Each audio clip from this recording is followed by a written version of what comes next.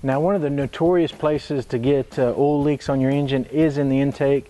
The main problem is you've got uh, the block material and then your head material. You've got three different areas of different surfaces. They're all mating together in one spot. Um, so these front and rear areas of the intake are places that are just notorious to leak. Sometimes you'll get a gasket set that comes with a rubber gasket or a material gasket with it.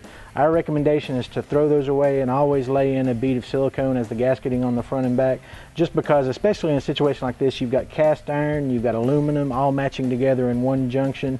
You're going to get leaks there unless you get a good seal. So always come in and lay a silicone in. When you when you lay it in you want you want to start up in the gasket and then come down onto the block itself and uh, lay a generous bead as you're laying it.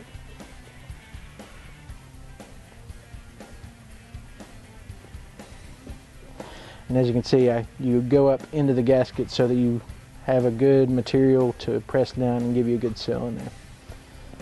Okay, so we've got it laid in there. Um, there are several different uh, liquid gaskets you can use. Our recommendation is the Right Stuff gasket. It works really well and you're going to get a good tight seal on it. Okay, so now we're ready to put our intake on. One of the things to, that's key when you're putting installing your intake is to make sure to do your best to let it lay down flat and even as it goes on. And make sure all your bolt holes are lined up. Everything looks good.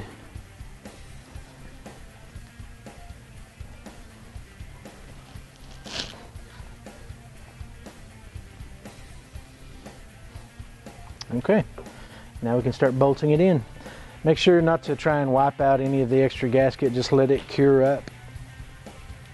So before we install our ARP intake bolts, we are going to put a little of their thread lube Again, just helps us get a good true torque when we get ready to torque all of these bolts down.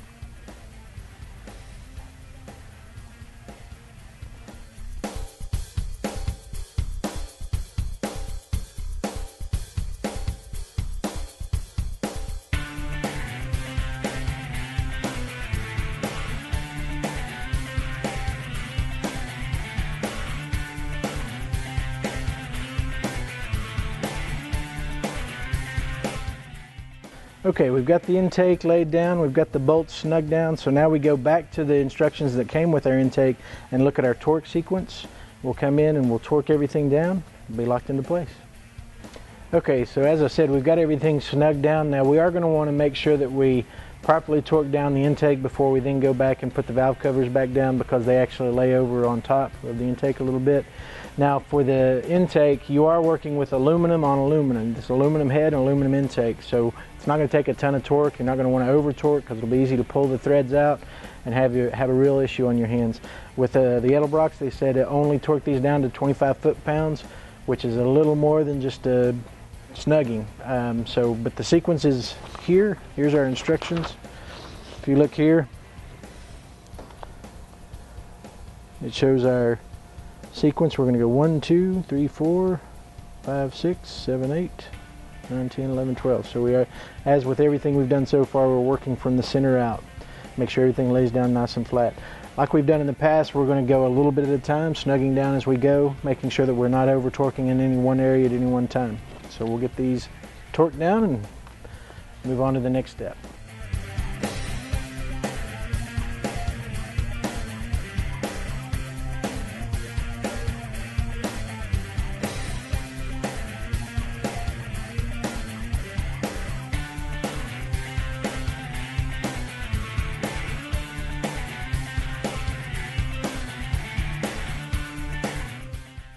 Okay, so we've got our intake properly torqued down. Everything looks good. Now again, we're gonna go ahead and torque down our valve covers. We'll be ready with this. And then next step is gonna be put on our harmonic balancer. Be right back. Okay, so the next thing we're gonna install in the engine is our harmonic balancer. But before we do that, we're gonna lube up the crank, snout, and the seal to make sure everything slides in easy, doesn't snag up and cause us any issues. Again, we're using our Royal Purple Max Tuff Lube.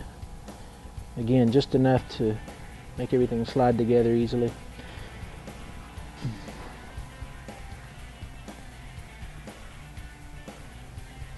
Okay, the harmonic balancer we're using is actually PRW's Performance Quotient SFI Elastomer 8-inch model. It also comes in a 6 and 3 quarter inch model. Um, we also have the uh, PRW 12-point uh, harmonic balancer bolts. And this is our install tool that I'll show you how it works from Proform. Makes this job a whole lot easier. But first, before we put the actual harmonic balancer on, just like we did with the crank snout, we're going to put a little run of lube on the inside of the shaft.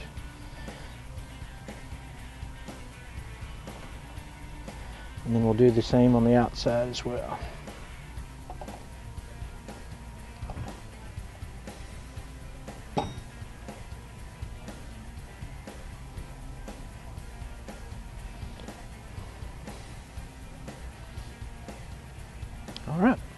It's ready to install. Let me wipe my hands down. So a lot of guys, when they install these, they'll actually use a rubber mallet or something like that to press fit this in. We actually have the proper tool from Proform to do it. You're going to thread it into the snout.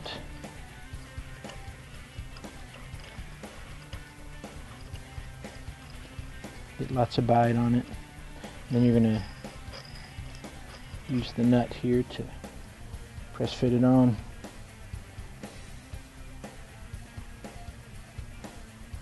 Once it makes contact with the harmonic balancer, we'll get our wrench and slowly press it into place. Okay, so that's to 50, so we'll take it up to 70 now. Okay, so we finished installing the harmonic balancer. The last thing to do is to actually put the timing pointer on. There's just a couple of bolts that we take out of the timing plate itself and then install it, and we should be good to go. So thanks for watching In the Garage with Performance Corner. As always, click subscribe below to get more videos like this sent to you. And as always, go to performancecorner.com to find a local store to help you with this project or whatever project you have going on. See you in the next episode.